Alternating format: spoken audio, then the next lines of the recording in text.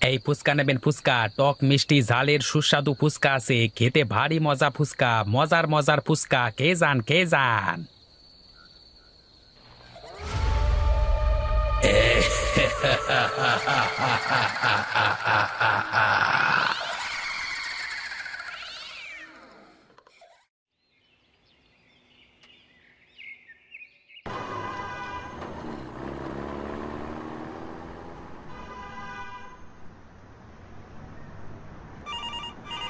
আসছি বাবা আসছি। এই সকাল সকাল কে আবার কল দিল? কি রে তোর কি হলো? সেই কখন থেকে কল দিচ্ছি রিসিভ করছিস না যে? আর বলিস না মায়ের কাজে একটু সাহায্য করছিলাম। আহ, তা বলছিলাম আহ, চল দুজন কোথাও ঘুরে আসি সেটার কি হলো? হুম মাকে বলেছিলাম তা কখন বের হবি? তুই যখন বলবি তখনই। বেশ চল আজ বিকেলে বের হই তাহলে। ঠিক আছে। তা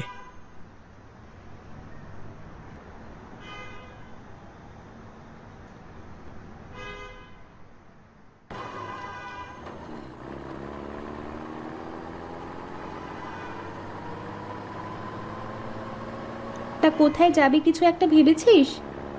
চল না আজকে শিলিগুড়ি থেকে ঘুরে আসি। শিলিগুড়ি আমার কাছে খুব ভালো লাগে। সত্যি, আমারও খুব ইচ্ছা শিলিগুড়ি যাই। তাহলে চল, ঘুরেই আসা যাক। মল্লিকা রাজি হওয়ায় আমার অনেক ভালো লাগল। আমি গাড়ির গতিটা বাড়িয়ে দিলাম। যাত্রা করলাম শিলিগুড়ির উদ্দেশ্যে। আমি গাড়ি চালাচ্ছিলাম আর মাঝে মাঝে মল্লিকার দিকে তাকাচ্ছিলাম। আসলে অনেক দিন হলো, মল্লিকাকে আমার মনের কথাটা বলব বলব ভেবেও বলা হচ্ছে না। তাই ওকে নিয়ে আজকে শিলিগুড়িতে যাচ্ছি। শিলিগুড়ি মল্লিকার খুব পছন্দের জায়গা তাই ওকে ওইখানে নিয়ে গিয়েই আমার মনের কথাটা বলব। কি রে এইভাবে আমার দিকে বারবার তাকিয়ে কি দেখছিস?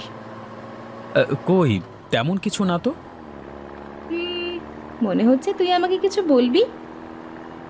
হ্যাঁ না না কি বলব তোকে? না মনে হচ্ছে তুই আমার থেকে কিছু একটা লুকাচ্ছিস। তোকে না আজকে দেখতে বেশ সুন্দর লাগছে।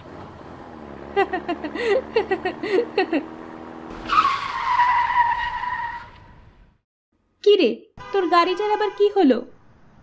আরে বুঝতে পারলাম না তো ওকে কেন বন্ধ হয়ে গেল। এমন সময় গাড়িটা বন্ধ হয়ে গেল। আমার বেশ রাগ হলো গাড়িটার উপর। রাগে রাগে গাড়িটাতে স্টার্ট দিতে যাই।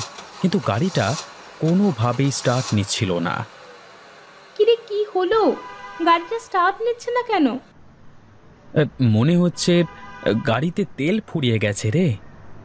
তুই যেমন তোর গাড়িটাও ঠিক তেমন। এখন শিলিগুড়ি যাওয়া কি করে হবে? চিন্তা করিস না। তোকে নিয়ে আজ যেহেতু ঘুরতে বের হয়েছি সেহেতু শিলিগুড়ি চলে যাব। চল না সামনেই ট্রেন স্টেশন ওখান থেকেই শিলিগুড়ি ট্রেন ধরে শিলিগুড়িতে চলে যাব। তাহলে গাড়িতে বসে আছিস কেন? চল।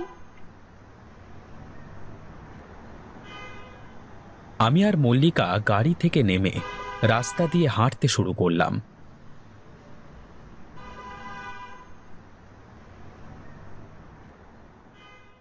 হাঁটতে হাঁটতে ট্রেন স্টেশনে চলে আসি। এসে দেখি ট্রেন স্টেশনে তেমন কোনো লোকজন নেই। ওই দু একজন আছে আর কি। যে স্টেশনে মানুষের ভিড়ে পা ফেলা যায় না সেখানে কোনো লোক দেখা যাচ্ছে না। এমনটা দেখে মল্লিকা বলে উঠল সত্যি আজ মনে হয় ভাগ্যটাই খারাপ রে। দেখ মনে হয় আজ ট্রেন বন্ধ। কিন্তু ট্রেন বন্ধ হলে তো আগে ঘোষণা দেয়। আজ তো তেমন কোনো ঘোষণা দেওয়া দেখলাম না। হুম তা তুই ঠিকই বলেছিস। তাহলে কি করব এখন? কি আর করব? কিছু সময় অপেক্ষা করে দেখি। এই বলে অপেক্ষা করতে শুরু করলাম। বেশ সময় অপেক্ষা করবার পর দেখলাম একটা ট্রেন আসছে। দেখতে দেখতে ট্রেনটা আমাদের সামনে এসে দাঁড়াল। কি রে দ্রুত ওঠ না হলে ট্রেনটা ছেড়ে দেবে তো।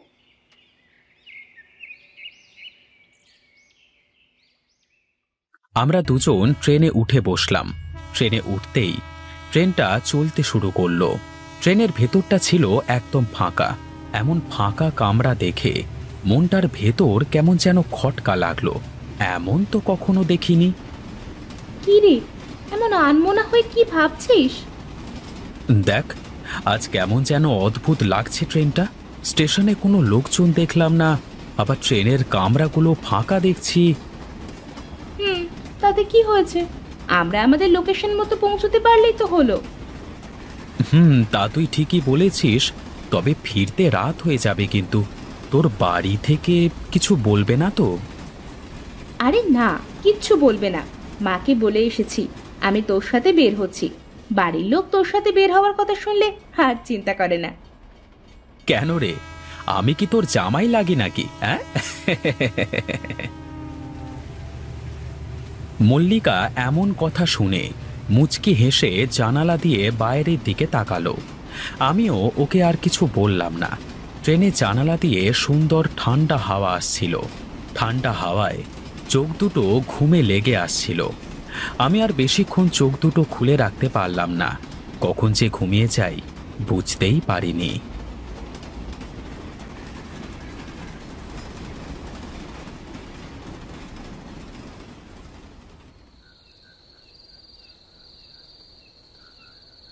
যখন ঘুম ভাঙল তখন আশেপাশে তাকিয়ে দেখি অন্ধকার হয়ে গেছে।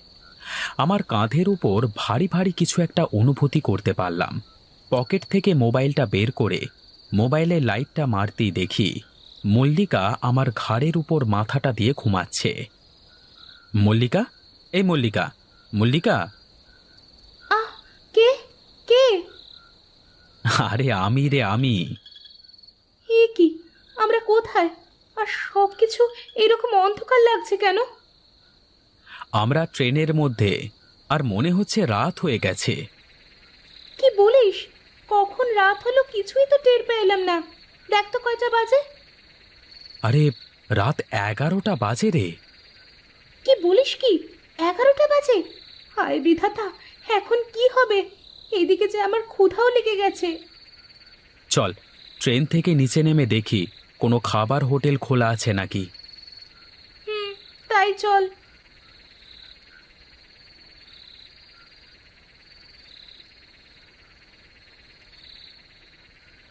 ট্রেন থেকে নেমে দেখি পুরো স্টেশন ফাঁকা। দূরে কয়েকটা কুকুর ছাড়া কাউকে দেখা যাচ্ছে না। কেমন যেন এক ভুতুরে পরিবেশ। আমি এদিক ওদিক তাকিয়ে আশেপাশে কোনো হোটেল আছে কি না তাই খুঁজছিলাম। কিন্তু আশেপাশে সব দোকানগুলো বন্ধ দেখলাম। এখন কি হবে? আশেপাশে সব দোকান তো বন্ধ দেখছি। কিছু একটা কর প্রীতম। আমার যে প্রচুর ক্ষুধা লেগেছে। চল চল সামনের দিকে হেঁটে দেখি কোনো খাবার দোকান খোলা পাওয়া যায় কিনা।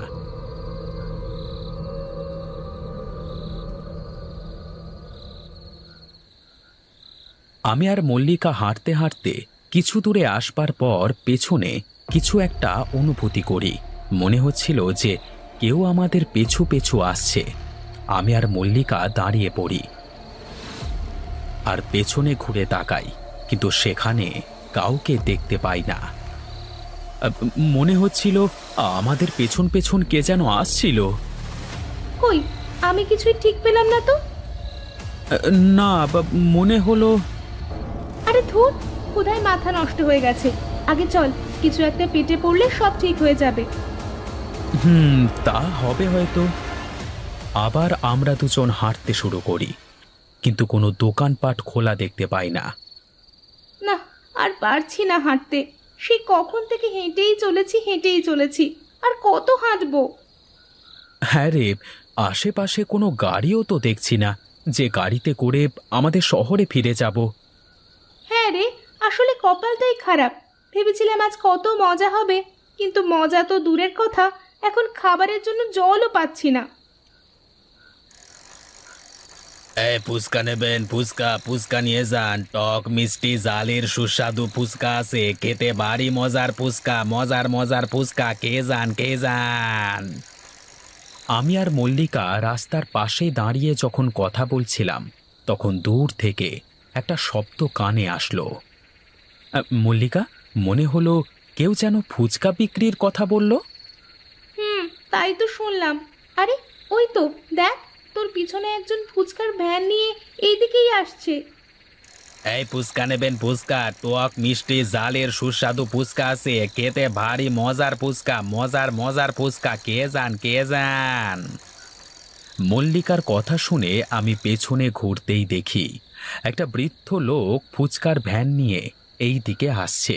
ফুচকার ভ্যান দেখে মনে মনে বেশ খুশি হলাম। আর খুশি বা হব না কেন, যা ক্ষুধা লেগেছে, তাতে পৃথিবী যেন সবটাই ঘুরছে। দেখতে দেখতে ফুচকাওয়ালা আমাদের সামনে এসে দাঁড়াল। বাবু, ফুচকা খাবেন নাকি? ফুচকা? হ্যাঁ হ্যাঁ খাব মানে কি? দুই চার প্লেট বানাও তো, কাকু। হ্যাঁ হ্যাঁ মল্লিকার কথা শুনে ফুচকাওয়ালা ফুচকা বানাতে শুরু করল। ফুচকা বানিয়ে বানিয়ে আমাকে আর মল্লিকাকে দিতে থাকে। আমি আর মল্লিকা কোনো কিছু না ভেবে এক এক করে খেতে থাকি। আহ, কাকা, তোমার ফুচকার স্বাদটাই আলাদা। এর আগে কোনোদিন এত স্বাদের ফুচকা খাইনি।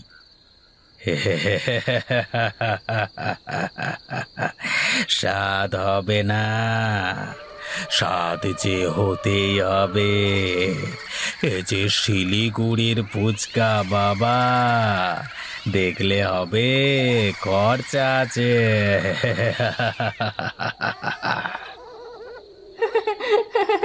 নিশ্চয়ই নিশ্চয়ই খরচ করব। এমন সুস্বাদু ফুচকার জন্য খরচ করব না তা কি হয় নাকি? মামুনি এত কথা না বলে আগে ফুচকাটা খাও। না হলে গলায় বেঁধে গেলে যে পটল তুলতে হবে। ঠিক বলেছেন। কিরে তুই এইভাবে হাসছিস কেন? আরে ফুচকাওয়ালা কাকুর কথা শুনে। কেমন যেন অদ্ভুত লাগছিল। ফুচকাওয়ালা আমাদের ফুচকা দিচ্ছিল আর এদিক ওদিকে বারবার তাকিয়ে কি যেন দেখছিল। আচ্ছা কাকু এই শহরে কি রাতের বেলায় মানুষ বের হয় না? না রাতের বেলা যে তেনারা বের হয় তেনাদের ভয়ে লোকজন ঘর থেকে কেউ বের হয় না। তিনারা বলতে ঠিক বুঝলাম না।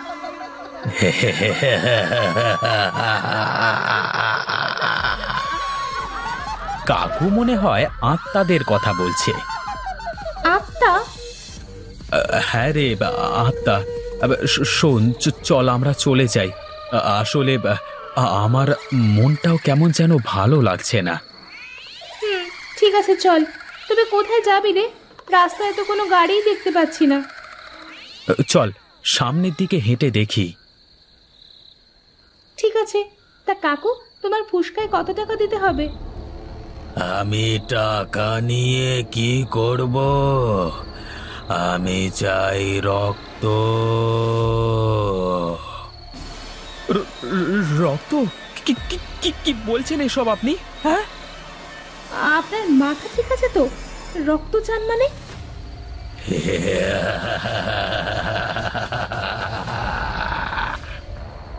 এই বলে আমি আর মল্লিকা হাঁটতে শুরু করলাম, আর পেছন থেকে বিকট শব্দে ফুচকাওয়ালার হাসির শব্দ আসতে শুরু করল। সেই সাথে বলছিল,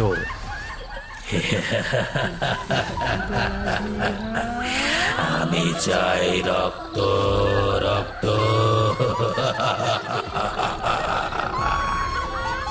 ফুচকাওয়ালার এমন কথা শুনে আমাদের ভয়ে মনে হচ্ছিল দেহের ভেতর থেকে প্রাণটা বুঝি বের হয়ে আসলো। আমি আর মল্লিকা পেছনে না তাকিয়ে সামনের দিকে হাঁটতে থাকি। হঠাৎ কোথা থেকে ফুচকাওয়ালাটা আমাদের সামনে চলে আসে আর সে কি ভয়ঙ্কর রূপ দেখে মনে হচ্ছে সামনে এক পিশাচ দাঁড়িয়ে আছে।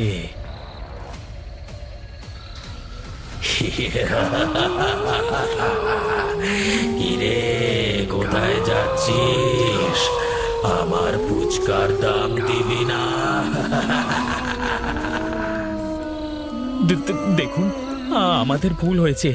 আমরা রাতের বেলায় আর এই শহরে আসব না আসব না। দয়া করে আমাদের আপনি যেতে দিন। যে আমার সামনে একবার পড়ে আমি তাকে তো এত সহজে চারি না। প্রীতম ওই পিসাচটার সঙ্গে এত কিসের কথা তোর প্রীতম? আমরা পালাই চল। মল্লিকার কথা শুনে আর এক মুহূর্ত দেরি না করে আমরা পেছনে ঘুরে আবার হাঁটতে শুরু করলাম। হাঁটতে হাঁটতে দেখি একটা চায়ের দোকান। চায়ের দোকানের মধ্যে একটা বৃদ্ধ লোক দাঁড়িয়ে আছে। আমরা চায়ের দোকান দেখে দ্রুত সেখানে যাই। কে বাবা মা তোমরা কারা? এত রাতে এখানে কি করছ? কাকা কাকা আমাদের বাঁচান। ওই ওই ভূতটা আমাদের মেরে ফেলবে।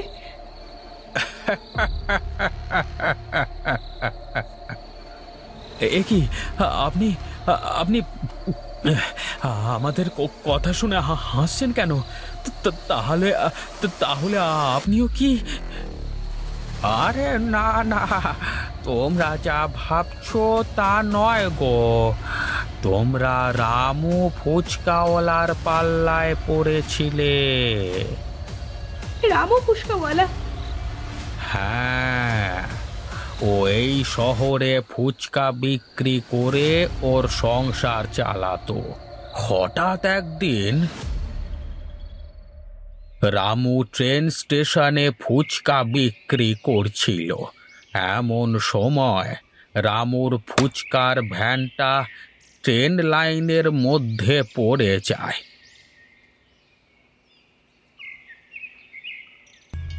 রামু সেই ভ্যানটা তোলবার জন্য অনেক চেষ্টা করতে থাকে। তখনই একটা ট্রেন এসে রামুকে ধাক্কা দেয়। রামু ওই জায়গায় মারা যায়। কিন্তু কিন্তু ও ও আমাদের কেন মারতে চেয়েছিল? রামুর ওই বিপদের সময় কেউ তাকে সাহায্য করে যায়নি বলে। রামু মনে করে ওই স্টেশনে যারা আসে তারাই অপরাধী। এই জন্য ও প্রথমে ওর ফুসকা খাওয়ানোর পর তারপর তাদের হত্যা করে। বলেন কি আমরা তাহলে এখন কি করব? ভয় নেই মা ও এখানে আসবে না। তোমরা এখন নিরাপদে আছো। এই ফুচকা নেবেন, ফুচকা, টক, মিষ্টি জালের সুস্বাদু ফুচকা আছে। খেতে বড়ি মজার ফুচকা, মজার মজার ফুচকা।